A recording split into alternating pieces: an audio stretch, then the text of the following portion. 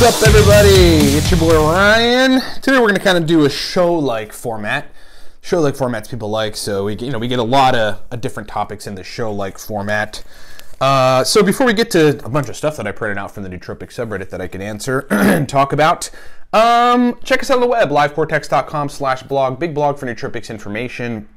Uh, like us on Facebook, please facebook.com slash cortex stacks is where we are at uh, we got a couple products let me run through the specials on products i think we got one ending the 11th of november so you're going to want to hear this here they are elite level nootropic products. All right, number one, we've got a nootropic stack. It is called Cortex. Uh, basically, we made Cortex for entrepreneurs, people that need to focus and have productivity and mental energy and verbal fluency. And but instead, like I mean, basically, I mean, a lot of entrepreneurs buy it, but but professionals buy it, medical professionals buy it. You know, uh, people in school buy it. You know, if, if you're a college kid that needs to study and or you're going to go up and give a speech and need verbal fluency and or like the workload is requiring a significant degree of mental endurance buy the cortex stack uh, right now the special is if you use the coupon code 7 just the number 7 you can get cortex for 25 bucks a bottle. Pretty good for it's being called the only pre-made stack that works. If you need my help personally on anything related to nootropics we've got a nootropics consulting service. It's the only one uh, that i know of on the web. Uh, basically it's a call with me for 40 minutes on helping you figure out stacks that work well uh, we just launched Stack List, which is, you know, if you want a, a, just a list, a no BS list of some of the best nootropic stacks in the world, get Stack List. It's the combination of all of our stacks and all of our digital books. Uh, it's digital also. And if you're new to nootropics, buy Smarter, Better, Faster. Smarter, Better, Faster uh, teaches you everything you need to know about nootropics, gives you many stacks, shows you how to cycle. get all that good stuff at livecortex.com. All of our products, by the way, support this broadcast. So if you love this broadcast, go buy one of our products and chances are you're to actually love the product too. Okay, so I, I, I got it. I printed out a bunch of different uh, nootropic subreddit threads, and I just kind of want to run through them because they're all relevant to us as nootropic takers. First one is cholinergics causing depression. Now, this is something that I think we run into all the time. You know, those of you that have been taking nootropics for a while, you kind of know that this can happen if you if you take your dose too high on a particular cholinergic. So I'm going to read this, read a little bit of the comments, and then kind of just quickly give my take on it. Uh, so it goes, I've been seeing a lot about how cholinergics cause depression and brain fog. I take DHA, choline, alpha GPC, so I don't know what choline he's talking about there, but you know, probably choline bitartrate. And on occasion when I really needed aniracetam, along with a bunch of other basic supplements unrelated to acetylcholine. I've been feeling a bit down lately. Uh, I really don't want to, I don't really want to add to my brain fog as I already have enough. Would it be wise to discontinue use? And is it the alpha GPC, the DHA, the choline I should worry about? Uh, so somebody in the comment section points out alpha GPC is a form of choline. Okay, so like that's kind of the thing. Excess choline can cause sudden, generally short-lived depression, and that's totally true. Whatever kind of brain fog or depression you get from cholinergics, if you take them in excess, uh, it is short-lived. Uh, let's see if there's anything else relevant. Okay, so he goes in the comment section. He actually goes and says, "I'm taking uh, 550 milligrams of choline, two tablets daily, and as for the GPC, I'm taking two 300 milligram tablets daily. Uh, which should I discontinue?" Okay. First of all, that's probably choline bitartrate in 550 milligrams. I would discontinue that because um, you're not really taking any racetams just on occasion. Um, and really, I would take your alpha GPC dose down significantly. First, I would try cutting it completely in half and being at 150 milligrams.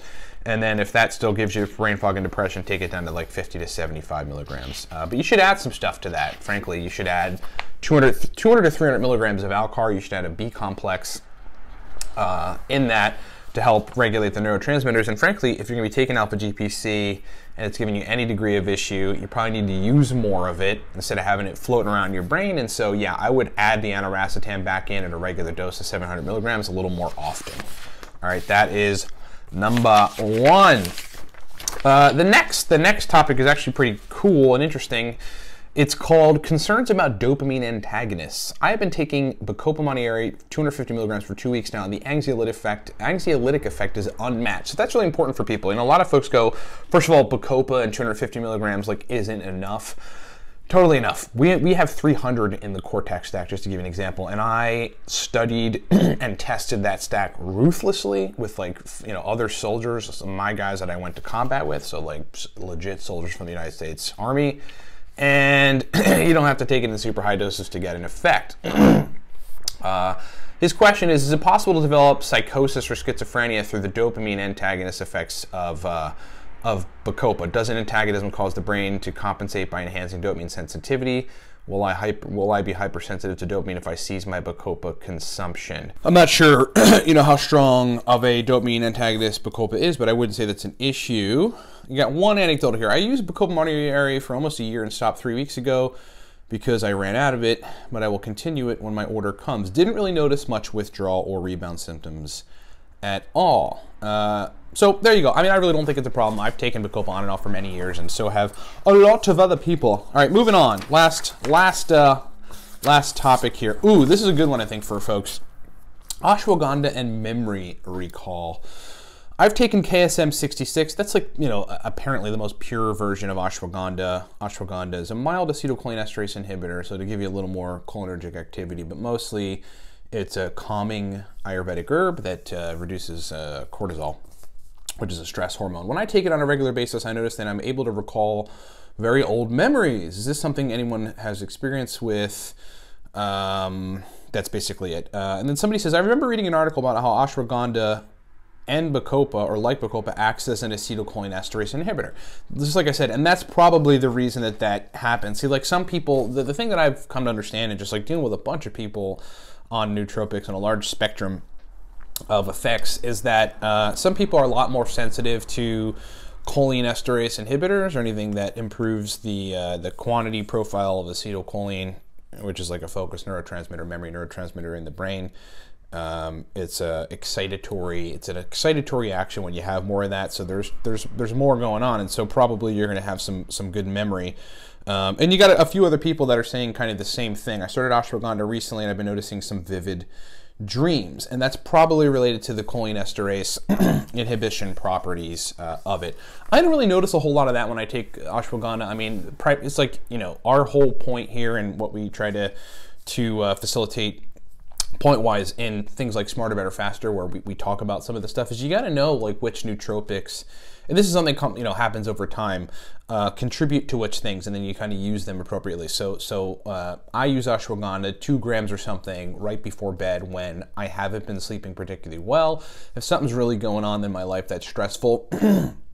Uh, I take it and I basically just get a way way better restful sleep. I mean, I actually wake up. You know those mornings when you wake up and and you feel good and you're like, you know, you're in a good mood, you kind of just spring out of bed and just like you're, you're calm, you're not overrun by your brain right away in the morning. That's sort of the deal with um, ashwagandha. That's kind of why I take it. All right, so I hope that all that's been helpful. We'll do a lot more of these kind of style format shows where we just basically do a show on your trip. I think that's going to be cool for people. We'll, we'll switch back and forth between our regular informative videos and kind of just doing this because I think there's a lot that people can get from this stuff too, okay? Uh, so that's it. Thanks so much for watching. Remember, every shred of information on this broadcast is free, but it's supported by some products. We got the Cortex stack. That's our nootropic stack. I mean, you know, no shit, Cortex is a strong stack in the eyes of our users. Uh, the, the weird contingent of folks that started taking it this was like two years ago, but it's like increasingly so are poker players, right? There's a there's a, a, Sands casino close to here, close to me. I'm in I'm in basically Bethlehem, Pennsylvania. Um, you know, and I sell the product to a lot of folks that go there and just play poker. But there's all people all around the world that that use it for like five card stud, five card draw for focus because it like lasers you in. Anyway, buy a bottle of Cortex at livecortex.com. Support the broadcast. Get an awesome stack. Uh, coupon code seven right now gets you Cortex for 25 bucks. We got to move a lot of Cortex. We got inventory coming in, so just buy a bunch of bottles if you can.